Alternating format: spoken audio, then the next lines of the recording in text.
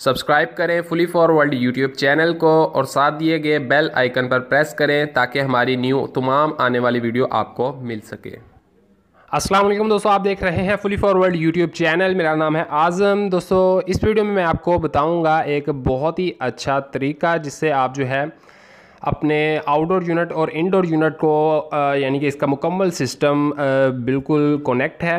Pipe और indoor और outdoor unit और आप इसी कनेक्ट में ही, यानी कि इस यूनिट को कनेक्ट में ही बिना उतारे पाइप को आप कैसे जो है सेपरेट इंडोर को और सेपरेट ही आउटडोर को कैसे प्रेशर दे सकते हैं? इससे आपको क्या फ़ायदा होगा? इस वीडियो में आपको ये भी बताऊँगा। सबसे पहले तो आपको बता दूँ, इसमें जो फ़ायदा आपको होने वाला है वो ये है कि अगर तो आपके एसी में थोड़ा बहुत प्रेशर है मतलब कि कह लेंगे 80 परसेंट गैस है 20 परसेंट लीकेज है, और आपको डाउट है कि वो आपके इंडोर यूनिट में है, या फिर आपके इंडोर यूनिट के बाहर जो जॉइंट्स होते हैं वहाँ पर है, या फिर ये जो जॉइंट्स है, यहाँ पर है। अभी आप देखेंगे प्रेशर इसका बिल्कुल ज़ीरो है। इस एसी में प्रेशर था तकरीबन कह लें कि 90 परसेंट प्रेशर था 10 परसेंट इसमें जो है गैस नहीं थी। मतलब कि ये ओरिएंट का डीसी इन्वर्टर है तो इसमें यानी कि प्रेशर था जो है वो तकरीबन लगभग था 90 प्रेशर तो होना चाहिए 120-25 के आसपास तो यानी कि कह लेंगे 90 प्रेशर इसमें मौजूद था। अब 90 प्रेशर जो है था, इसमें जो है वो मैंने स्टोर कर लिया है, यानी कि गैस जो है मैंने इसमें स्टोर कर ली है। आप एल की वॉल जो है वो देख सकते हैं, इस वक्त मैंने ऑफ़ किए हैं, यानी कि गैस जो नॉर्मल जैसे की जाती है स्टोर, वो आपने स्टोर कर लेनी है। अब जो है यहीं पर लाइन हमारी लगी रहेगी और गेज लगी रहेगी, यहाँ पर जो है गैस स्टोर है। और स्टोर जो है, इसके बाद हमने अब करना क्या है, इसमें सिंपल जैसे नॉर्मल प्रेशर देना है, इस, इसी पॉइंट से जहाँ से गैस चार्ज की जाती है, इसमें हम जो है एयर जो है प्रेशर इसमें चार्ज कर देंगे। कितना चार्ज करेंगे, यानी कि सिर्फ़ इंडोर यूनिट और जो इंडोर यूनिट के साथ ये जो पाइप है, आउटडोर यूनिट तक सिर्फ़ यहाँ पर प्रेशर जो है वो जाएगा। आपकी गैस जो है वो आपके आउटडोर यूनिट में ही स्टोर रहेगी।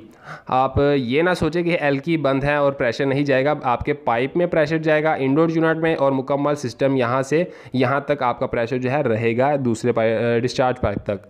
आपके नट जॉइंट सब चीज़ें टेस्ट हो जाएँगी लीकेज और मुझे डाउट था इसी साइड पर तो इसलिए मैंने जो है इसी तरह इसको प्रेशर दिया, ना कि मैंने गैस को वेस्ट किया और मुकम्मल सिस्टम को प्रेशर दिया। हाँ अगर आपका ज़्यादा लीकेज है तो फिर आप अपने आउटडोर यूनिट को प्रेशर गैस निकाल कर मुकम्मल अलग अलग से दे सकते हैं। तो ये एक शॉर्ट तरीका है जिसमें आपका टाइम भी बचेगा और आपको लीकेज भी जल्दी, आसानी से मिल जाएगी। अगर आपके, आपको डाउट है कि आपका नट्स पर ऑयल है, यहाँ पर या जॉइंट्स पर तो फिर। अब यहाँ पर जो है प्रेशर इसका बिल्कुल ज़ीरो है। मैं इसमें प्रेशर चार्ज कर देता हूँ लाइन लगाकर जो है अपने वैक्यूम पम्प यानी कि प्रेशर पम्प से सॉरी तो प्रेशर पम्प से जो है मैं इसमें प्रेशर चार्ज कर देता हूँ और जितना प्रेशर लगभग तीन सौ, साढ़े तीन सौ प्रेशर में मैक्सिमम इसमें चार्ज कर देता हूँ और फिर इसकी लीकेज जो है वो ट्रेस करने में आसानी होगी हमें। तो प्रेशर जो है इसका अभी मैंने इसका प्रेशर जो है वो चार्ज किया, मैंने वीडियो स्टॉप की और यहाँ पर दोबारा मैंने ओके तो ये आप देख सकते हैं मैंने इस पर मैक्सिमम जो है साढ़े तीन सौ प्रेशर चार्ज कर दिया है। आप नोट कर लें और मैक्सिमम जो है आधा घंटा या पंद्रह बीस मिनट आप वेट करके भी देख सकते हैं कि अगर स्टैंड है तो फिर आपकी इंडोर यूनिट पाइपिंग क्लियर है, बिल्कुल क्लियर है और आपका जो है आउटडोर यूनिट में ही फिर लीकेज होगी।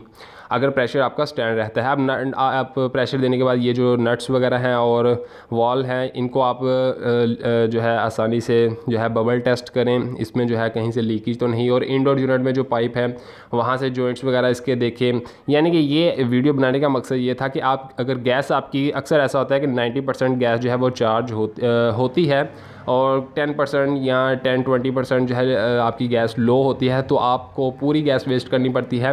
बट आप पूरी वेस्ट करके भी यानी कि अलग अलग प्रेशर दे के ट्रेस करके लीकेज जो है क्लियर कर सकते हैं। लेकिन ये भी एक मैं, मैंने आपको तरीका बताया कि आप इस ट्रिक के ज़रिए से गैस स्टोर करें और यहीं से प्रेशर दें। अब आपका जो है आउटडोर यूनिट बिल्कुल डिस्कनेक्ट है इस वक्त और इनडोर यूनिट जो है इसके इनडोर यूनिट और पाइपिंग तक जो है प्रेशर मौजूद है। इसमें आपको जॉइंट्स वगैरह चेक कर लेने चाहिए प्रेशर देकर और जो है आपको बाकी मुकम्मल अगर जॉइंट्स लीकेज है आप जॉइंट्स वगैरह फ्लेयर बनाए रिपेयर करें और इसको बिल्कुल ऐसे ही कनेक्ट कर दें फिर पाइप को और फिर आपने जो है डायरेक्ट आपने प्रेशर जो है आपने अपना निकाल देना है, इसमें प्रेशर नहीं रखना और फिर आपने वैक्यूम करके और यहीं से आप एलएन की जो है इसकी ओपन कर लें तो उसके बाद जो गैस आपको ten percent, twenty percent charge करनी है, वो चार्ज कर लें। आई होप कि आपको वीडियो अच्छी लगी हो। वीडियो अच्छी लगी हो तो इसको लाइक शेयर करें। तो मैं मिलता हूँ आपसे नेक्स्ट वीडियो में। थैंक यू सो मच अल्लाह हाफिज़।